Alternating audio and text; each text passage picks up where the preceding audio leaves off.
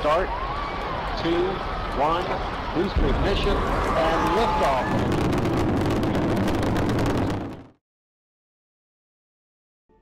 Ciao a tutti e bentornati ancora una volta su Indie Gameplay Ita. Oggi voglio fare un video così senza scriverlo, così a ruota libera per quanto riguarda Hogwarts Legacy, un gioco che io ho aspettato tantissimo, tanto da contare i giorni sul calendario, da grande fan di Harry Potter, mi sono guardato anche i film in inglese, questa volta sottotitolati, eh, per rientrare nel mood per iniziare e ho voluto iniziare da questo mm, poltergeist che è Pix eh, è presente solo nei libri, non nei, nei film, eh, così come citazione. Quello volevo, di cui volevo parlarvi è, ehm, diciamo, che cosa mi è piaciuto e cosa non mi è piaciuto riguardo Hogwarts Legacy. Secondo me Hogwarts Legacy è stato, uh, vabbè, c'è stato un plebiscito che lo ha eletto a gioco di successo ed effettivamente per quanto riguarda... Um, un appassionato di, di Harry Potter, visivamente il gioco è veramente eccezionale.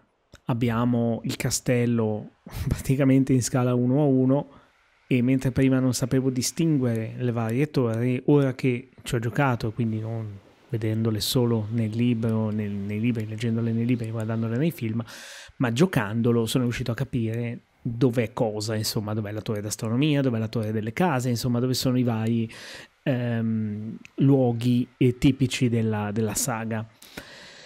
Diciamo che il gioco non è esente da criticità e eh, io quando vidi i primi voti ci rimasi un pochino male. Mi aspettavo di vedere un 9 per mettere, diciamo, un po' l'anima in pace da quello che era una spesa che io avevo già messo in, in preventivo, che avevo già anzi anticipato perché l'avevo preordinato.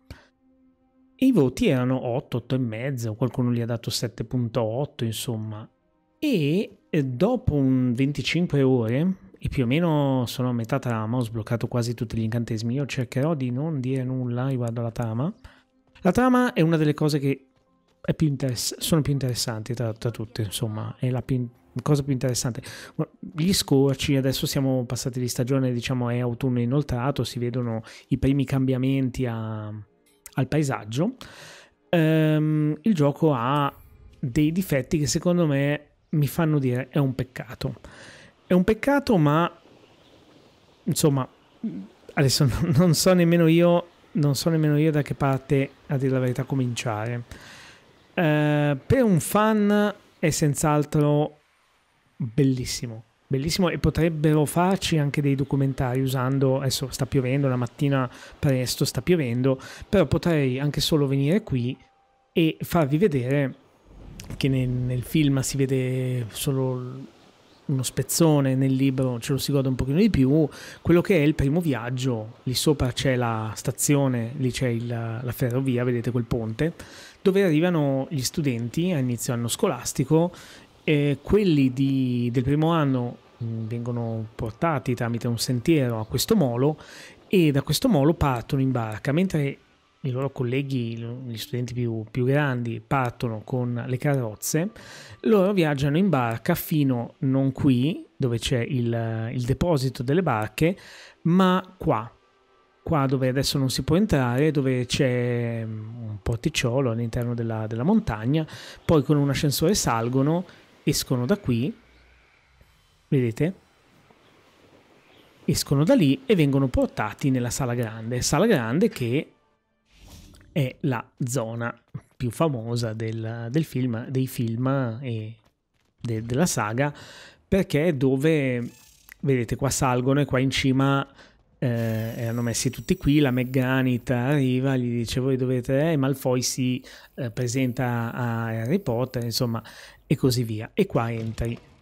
Entrano, qua ci sono gli studenti, qua, qua se ne parla mi pare solo nei libri, queste clessidre mostrano i punti delle varie case accumulati, quindi quando dicono tot punti, 50 punti di Grifondoro, salgono i punti in, questa, in queste clessidre, quindi vedete le quattro case.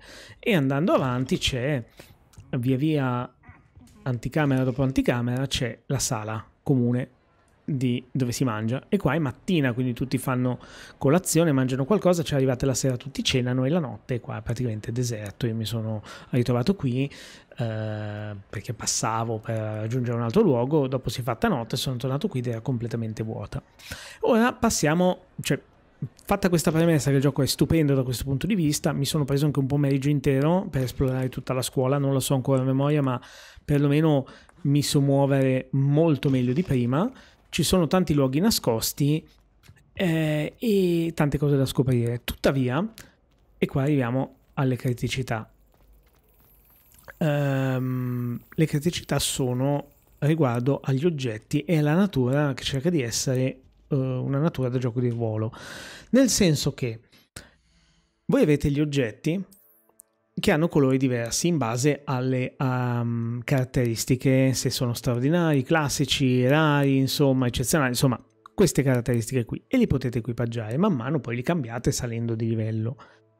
Non c'è nulla, da quello che ho visto, di livello epico o un oggetto leggendario. E non intendo la, il flag leggendario sull'oggetto, ma intendo un oggetto unico. Cioè il classico, non so, la, il guanto del poltergeist de... non c'è. Quindi un gran peccato è se io, vedete, ecco, adesso capita giusto, giusto, giusto. Io faccio una scansione e vedete che trovo questa pergamena. La pergamena è molto bella perché vi spiegano le varie parti di Hogwarts e sono molto utili per, per scoprire eh, le parti della scuola e ce ne sono un tot da trovare, adesso io devo trovarne 50, ma in realtà eh, prima ne ho dovuti trovare 5, 10, 20 e adesso 50 e sono in totale mi pare 150. Ma mettiamo caso, io tanti enigmi sono veramente molto belli, molto ispirati perché dovete risolverli eh, andando magari ad accendere cose ehm, per attivare passaggi o scansionando trovate delle statue che si spostano, dei muri invisibili, dei quadri che non sono quadri molto bello, bellissimo questo punto di vista, da questo punto di vista il gioco. Tuttavia, una grande delusione per me, che è una delusione tuttora, eh, è il fatto che quello che voi troverete in ogni segreto sarà semplicemente un oggetto random di quelli che trovate ovunque. E questo è un gran peccato perché non ha senso che io trovi un passaggio segreto difficilissimo se poi all'interno trovo un oggetto random che poi dopo due livelli cambio, come faccio normalmente con tutti gli oggetti. E questa è una grande critica che io faccio a questo gioco. Ora, eh, le attività da fare sono molteplici perché vi faccio vedere la mappa, io la mappa adesso l'ho vista in gran parte, quando sbloccate la scopa vi godete molto meno il viaggio perché non andrete più a piedi, però vedete che sulla mappa ci sono degli eventi, ad esempio troverete i covi dei banditi, uccidete i banditi, ottenete la spunta e l'avete fatto. E all'interno di una singola mappa vi vengono dette tutte le cose che ci sono che vedete lì in alto a destra. Um, fate questo, fate quello, fate quell'altro, insomma qui battete i nemici, c'è il forziere con i classici oggetti. Uh, qua ce n'è un altro poi trovate le tane degli animali, perché gli animali magici sono catturabili e li potete mettere, e poi lo andremo a vedere, sta- nella vostra stanza delle necessità. Ci sono le cripte del tesoro, anche qui la risolviamo, troviamo un oggetto alla fine. Oggetti che possono essere appunto gli oggetti che vi ho fatto vedere, oppure oggetti gli unici unici che ci sono sono eh, ricette di crafting per particolari eh, mobili che potete costruire o per eh, dei tratti che potete sbloccare per poter craftare dei potenziamenti per i vostri oggetti. Ecco, questo è un grande peccato perché in un gioco del genere con un sacco di enigmi ambientali Adesso io qui sono alla stazione, questa si vede pochissimo nei film, a parte inizio e film, inizio e film dei, dei, vari film, eh, inizio e fine, scusate. Qui la strada che fanno, dove vanno verso la scuola. Bellissimo, cioè niente da dire. Poi ci saranno le mount volanti, non le ho ancora sbloccate. Eh, adesso queste sono altre cose, ci sono i, diciamo gli enigmi di Merlino, che anche lì sono tutte cose che vi danno a loro volta delle cose. Ad esempio, gli enigmi di Merlino eh, sono degli enigmi ambientali, li trovate, adesso noi siamo qui, c'è un enigma questi qui di prove di Merlino, una volta che li avete fatti tot vi sblocca più spazi in inventario. Quindi sapete che quando trovate gli enigmi di Merlino avete ogni tot, ve lo segna poi sulle sfide, io adesso non ve lo faccio vedere per non spoilerare, eh, ne fate due, avete due slot, quattro slot in più in inventario. Ne fate altre 10, avete altri 5 slot in inventario e così via. E così lo sapete. Sapete che quando ottenete tot pagine eh, delle guide pratiche, sia della scuola che di altre zone, ottenete quell'oggetto, quel tratto, quei, quegli oggetti. Avete gli animali, ogni tot animali ottenete quel vantaggio, scoprite i punti di teletrasporto, vi teletrasportano più rapidi, avete i planetari, quindi avete modo di osservare il cielo e trovare le costellazioni con il telescopio, quel simbolino qui della Luna in questo caso ottenete, ogni volta che ne ottenete, ne sbloccate un tot di risolvete l'enigma ogni tot, avete quel premio lì, che è sempre comunque o un oggetto di quelli delle ricette o un oggetto a random. Però questo snatura tantissimo il gioco perché non vi dà quella grande motivazione ad esplorare. In compenso la storia va avanti piuttosto bene perché avete tante quest da fare, non sono eccessivamente difficili. C'è un po' quello sfondo di gioco che io definisco un po' gioco alla Disney, dove comunque lo fate tranquillamente, ehm, non, non c'è nessuno diciamo che vi mette fretta, però ripeto, è un peccato. Adesso vi faccio vedere la stanza delle necessità, così vi faccio vedere qual è la parte più, diciamo, sandbox um, che, che, ho visto nel, nel gioco. Adesso scendo, tanto il treno non passa. Andiamo là e vi faccio vedere. Premendo sulla scuola avete modo di accedere alle stanze nascoste e ottenete questa. La stanza delle necessità vi permette di arredarla come volete, ma soprattutto di piazzare dei tavoli. I tavoli da lavoro servono per craftare, eh, coltivare soprattutto, e craftare pozioni. Quindi voi raccogliete dai vari mercanti, adesso vi faccio vedere un vaso di quelli grandi, vedete qua io posso andare a svuotare il vaso e scegliere cosa mettere, ma in tutto il gioco ci sono otto piante, basta. Alcune vanno in un vaso grande, alcune in un vaso medio, alcune in un vaso piccolo, insomma, e decidete cosa piantare. E questo ha un tempo di crescita che va dai 5 minuti ai 10, no, dai 10 ai 15 ho visto, e potete fertilizzare, è vero, però non c'è questa grande scelta, cioè una volta che voi coltivate andate a raccogliere poi la pianta ricomincia a crescere eh, potete andare poi col tavolo fertilizzante a ottenere altre cose tipo i fertilizzanti avete i mobili che vi producono randomicamente un oggetto eh, una pianta, un fiore, insomma qualcosa. Qua potete identificare gli oggetti che, ha, che, avete trovato e di cui non sapete nulla e all'interno di, questo, uh, di questa serra qui accedete in un mondo sempre all'interno della camera di necessità, dove mettete, liberate gli animali che avete trovato in giro e ce ne sono tot. Ogni oggetto, ogni, scusate, ogni animale, quando voi lo avvicinate, potete andare con le vostre abilità a lavarlo. Dopo averlo lavato, vedete che si riempie il rombetto del, del cuore, gli date da mangiare e vi fornirà poi, adesso gli do da mangiare, vedete che gli, gli spunterà il mangime, potrò farlo anche con l'altro, e ogni oggetto che avete raccolto vi dà un altro uh, oggetto di crafting. Ho ottenuto il, il pelo di Puffskin.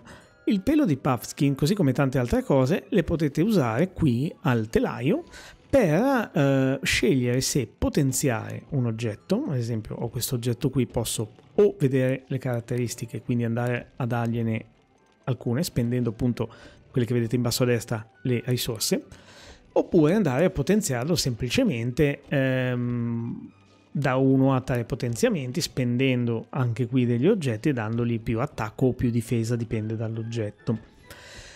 Quindi, anche qui è un po' un mezzo peccato. È vero, vanno farmati, eh, vanno farmate queste caratteristiche qui. Cioè vogliono dargli questo, la protezione anfibia che mi limita ai danni di un certo tipo. Vado e farmo, esploro e trovo.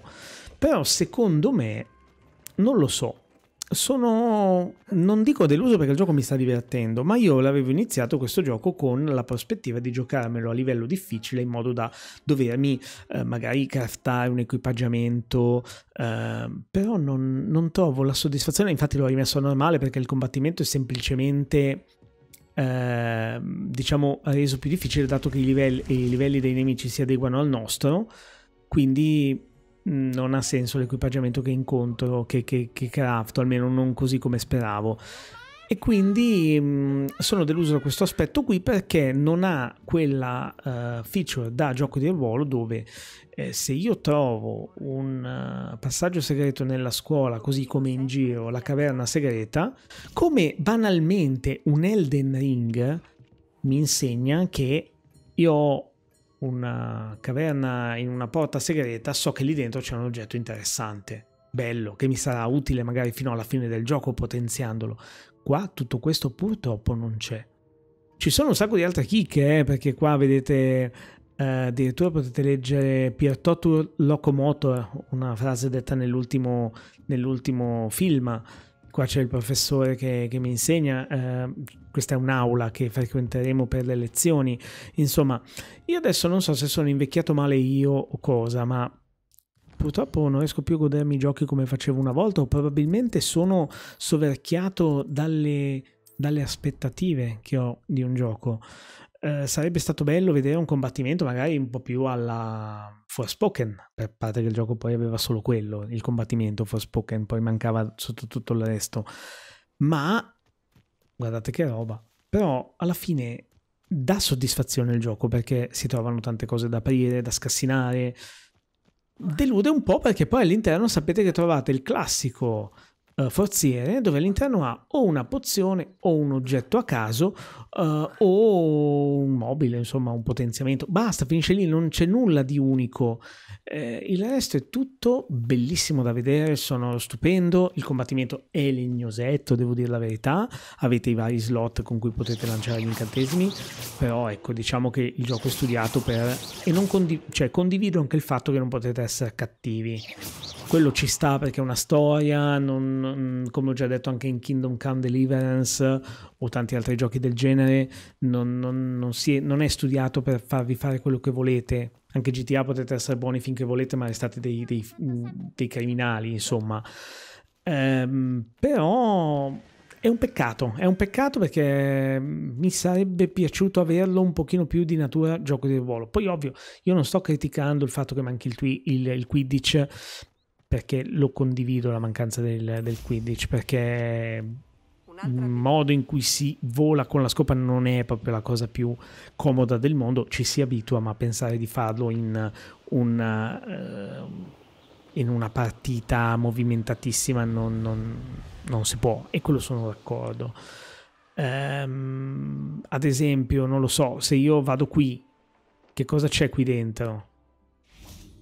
Cosa c'è qui dentro? Qui io ci sono mai stato? No. C'è questo. Vedete, ecco, questa è una zona che non ho mai visto. Io so che quella, quel forziere lì ha un occhio, quindi mi fa capire che devo aprirlo così. Lo scassino all'interno ci sono 500 monete. Quella, quel forziere lì, ha sempre dentro 500 monete. Fine. Trovassi qualcos'altro ad esempio dentro lì, vediamo cosa c'è, giusto per... Ma guardate le chicche, cioè il, eh, il tubo per l'acqua, cioè bellissimo questo. Però io vado qui, qui dentro ci sono delle, degli attrezzi di tortura che poi un po' alla Sabaku potremmo dire chissà che cosa facevano una volta qui.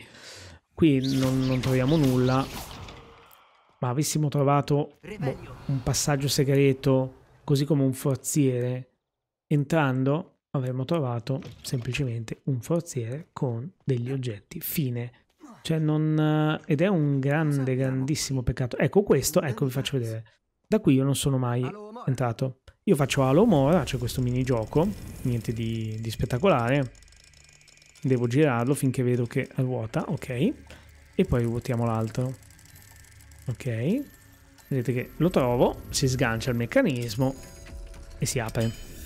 Ora, Nessuno ci dice niente, però entriamo, riveliamo che all'interno c'è questo, 55 monete, fine, finita qui.